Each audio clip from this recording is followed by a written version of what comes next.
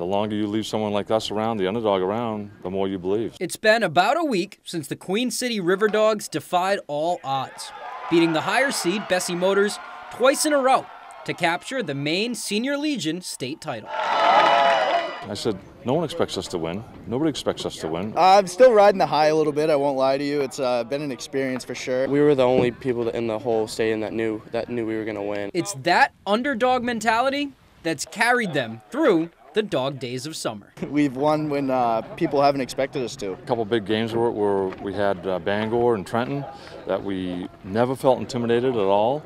Uh, the kids know that the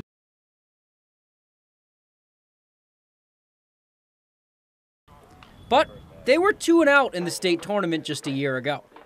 So what's different? The team's pretty much exactly the same. I think it's just the energy we brought this year because we both had pretty successful seasons, Brewer and Hampden, in high school ball. And now they're gearing up for the American Legion Northeast Regional, facing off against Rhode Island on Wednesday afternoon.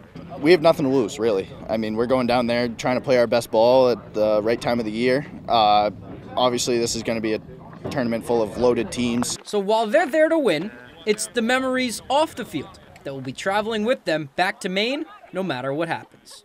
Um, spending time with the teammates just it will this will last in my in my brain forever as like a great time with our team. We have a really good group of guys here, so I think the hotel uh, energy is going to be pretty fun, maybe a little chaotic, but that and then going out there and uh, seeing where we stack up against the teams from the Northeast. Reporting from Hampden, I'm Tyler Cruz, ABC 7 Fox 22 Sports.